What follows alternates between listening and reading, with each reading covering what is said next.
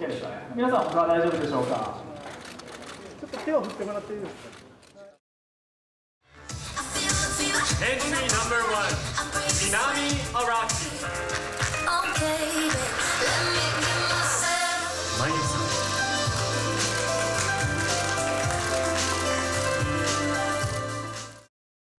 ントリーナンバー8岡田智美さんです。おめでとうございます。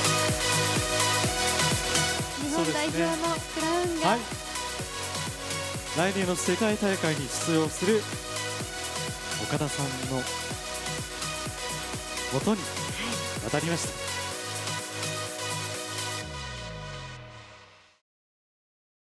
私には会いたかった人がおります。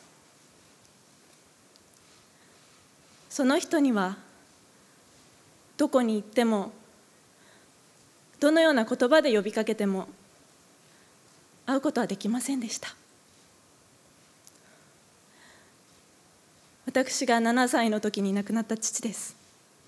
父は私にどんな時もエレガントで気品を忘れない女性でいるよう教えてくれました。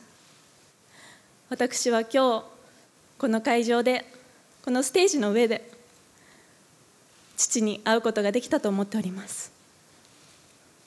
来年の世界大会では皆様に支えてくださった皆様に恩返しができるようにさらに一生懸命頑張ってまいりますので皆様どうぞよろしくお願いいたします。